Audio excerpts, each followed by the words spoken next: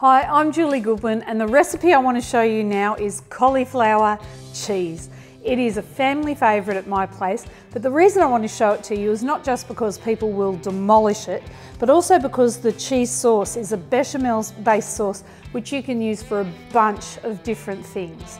Okay, so first of all we're going to steam the cauliflower and to do that you just want to take out the heart of it or the butt of it, whichever you like to think of it as. So in there, kind of like you would for an iceberg lettuce, I guess. Take that out. Save those bits for your chooks if you've got them.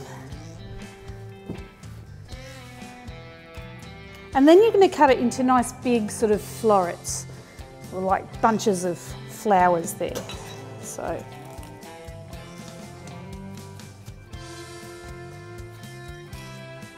So once you've cut it up, you're going to arrange it into a casserole dish, a fairly small one, about eight cup capacity, like that, and that fits neatly one head of cauliflower.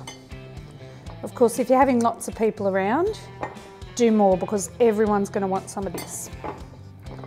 So pop it in and you want the decorative side, the flowery side to sort of be up and the stalks to be down so that when you cook it all up, it looks beautiful.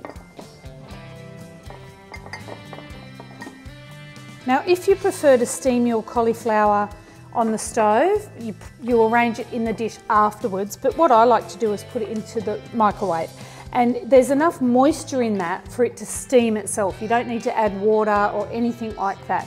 So you just pop it in to your casserole dish, bit of cling wrap over the top, and that's gonna need eight to 10 minutes in the microwave. So now we're gonna make this cheese sauce. It's a bechamel based sauce and it's really, really versatile. So it's the same sauce I would use for lasagna or a tuna mornay. Uh, if you've got some left over from this recipe, keep it in the fridge, heat it up and pour it over your steamed veggies another night. It's really, really yummy. Good on pasta too. So all we're gonna do here is a bit of butter and a bit of flour into a pan. So we're gonna melt that butter and add in some flour that all together.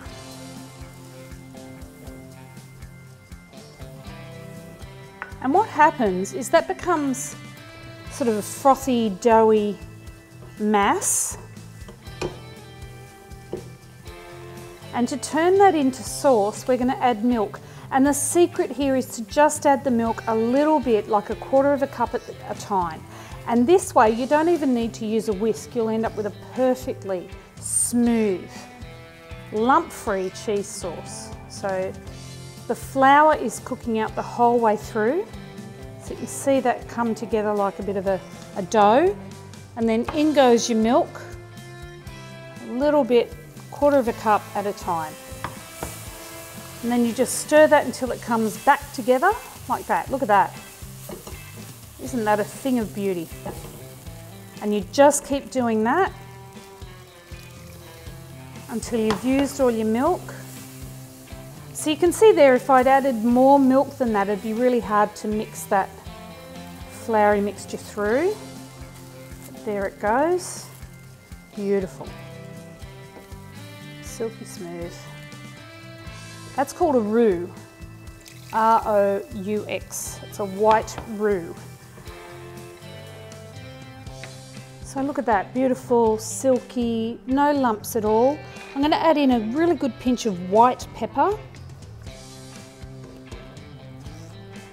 A good pinch of salt. And a bit of Dijon mustard. Now you can vary that. You can pop in um, grainy mustard if you'd like a grainy sauce, but what I find is that this adds a lot of flavour to it without sort of adding anything else, just a bunch of flavour, really nice. And what you've got there is a lovely white sauce that you can use for a number of different things. But next I'm going to add a stack of cheese so that it's nice and cheesy for our cauliflower. So about 200 grams, like, let's go a little bit nuts here.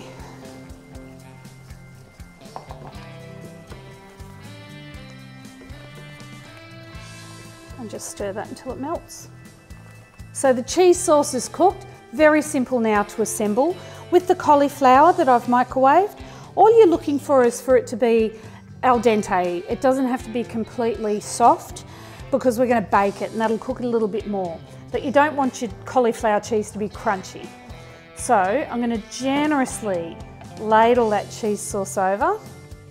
And the quantity I've made here, you could get away with making half of it for this dish, um, but I do love to have some in the fridge for other things. All right, so what you want to do is make sure that every bit of that cauliflower is coated with cheese sauce and then a bit more cheese on top just because cheese.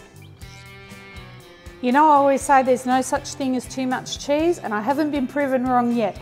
So that's going to go into a nice hot oven for around about 15 minutes until it's golden and bubbling on top and then it's ready to serve. Look at that and it doesn't matter what else is on the table in my house, this will be the most popular dish. Beautiful, cheesy, golden, hot and lovely cauliflower cheese.